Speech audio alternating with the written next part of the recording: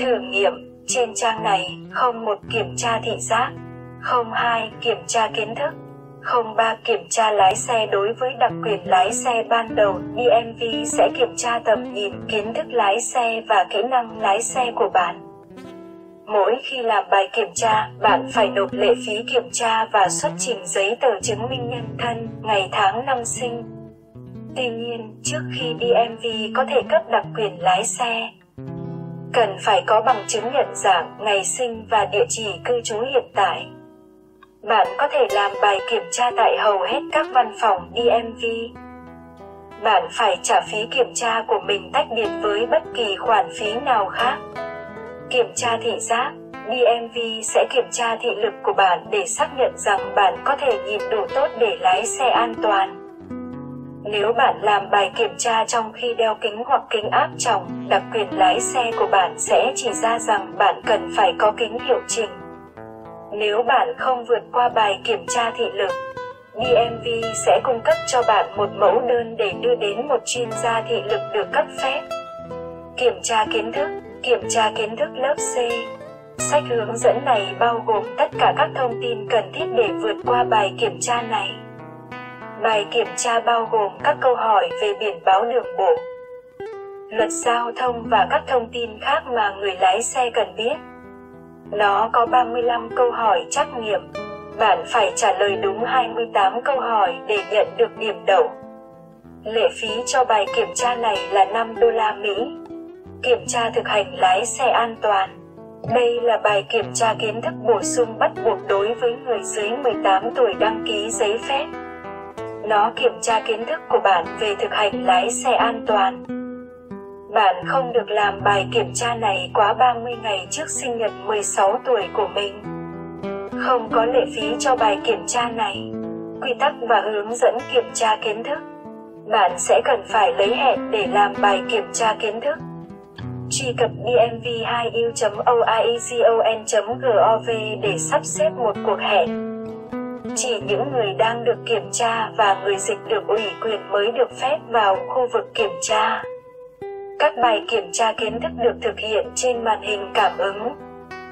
Bài kiểm tra có sẵn bằng một số ngôn ngữ, có hoặc không có hỗ trợ âm thanh. Bạn có thể mang theo tai nghe hoặc tai nghe của riêng mình để làm bài kiểm tra. Bạn không thể sử dụng sổ tay DMV hoặc bất kỳ ghi chú nào để giúp bạn trả lời các câu hỏi kiểm tra. Với sự cho phép, bạn có thể sử dụng từ điển dịch tiếng nước ngoài bằng giấy. Nếu xác định được rằng bạn gian lận, bạn sẽ bị trượt bài kiểm tra của mình. Bạn sẽ không được phép kiểm tra lại trong 90 ngày. Những hành vi sau được coi là gian lận, nói chuyện, viết hoặc ghi chú sử dụng điện thoại di động, vận hành bất kỳ thiết bị điện tử nào hoặc cho phép người khác làm bài kiểm tra cho bạn. Nếu bạn trượt một bài kiểm tra kiến thức, bạn phải đợi ít nhất một ngày trước khi thử lại. Nếu bạn trượt một bài kiểm tra 4 lần trở lên, bạn phải đợi ít nhất 28 ngày trước khi làm lại bài kiểm tra. Nếu bạn yêu cầu một chỗ ở đặc biệt để làm bài kiểm tra kiến thức, vui lòng liên hệ với văn phòng địa phương của bạn. Kiểm tra lái xe Trong bài kiểm tra lái xe sau tay lái Bạn sẽ thể hiện kỹ năng lái xe và kiến thức của mình về luật lệ giao thông, biển báo và tín hiệu đường cao tốc. Bài kiểm tra bao gồm rẽ, lùi xe, đỗ xe chuyển làn, kiểm soát tốc độ tín hiệu, điều khiển phương tiện và khả năng lái xe nói chung. Giám khảo sẽ ngồi ở ghế trước và chỉ đường cho bạn. Sau khi kiểm tra, giám khảo sẽ thảo luận về kết quả với bạn. DMV có thể miễn kiểm tra lái xe nếu bạn là cư dân mới giao nộp giấy phép ngoài tiểu bang còn hiệu lực hoặc hết hạn dưới một năm. Bạn đã hoàn thành khóa học về giáo dục lái xe được ODOT phê duyệt trong vòng 2 năm qua và xuất trình thẻ hoàn thành khóa học. Các cuộc kiểm tra lái xe chỉ được thực hiện theo lịch hẹn.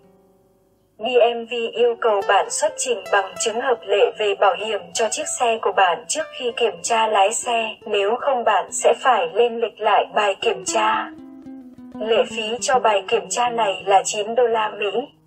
quy tắc và nguyên tắc cho kiểm tra lái chỉ bạn và giám định viên mới được phép ngồi trên xe trong thời gian thi lái xe. Người phiên dịch gia đình, bạn bè hoặc vật nuôi không được phép. Bỏ vũ khí khỏi xe của bạn trước khi làm bài kiểm tra lái xe. Tắt mọi thiết bị điện tử trong xe của bạn, bao gồm radio và điện thoại di động của bạn. Loại bỏ các đồ vật khỏi bảng điều khiển và gương chiếu hậu. Nếu bạn trực bài kiểm tra lái xe, bạn phải đợi cho đến ngày làm việc tiếp theo trước khi kiểm tra lại. Thử nghiệm xe, người kiểm tra sẽ xác định xem chiếc xe đang được sử dụng có trang bị cần thiết cho bài kiểm tra hay không. Nếu xe của bạn không vượt qua được phần kiểm tra thiết bị, bạn sẽ phải lên lịch lại bài kiểm tra lái xe. Thiết bị phương tiện phải hoạt động để kiểm tra bao gồm xe tự khởi động, tín hiệu rẽ trước và sau, đèn phanh, kèn, cửa hành khách đóng mở bằng tay nắm từ bên trong và bên ngoài. Ghế hành khách thích hợp an toàn và sạch sẽ hợp lý. Dây an toàn, lốp không bị hói hoặc hư hỏng. Bộ giảm âm không bị dò dỉ quá mức hoặc tiếng ồn không hợp lý.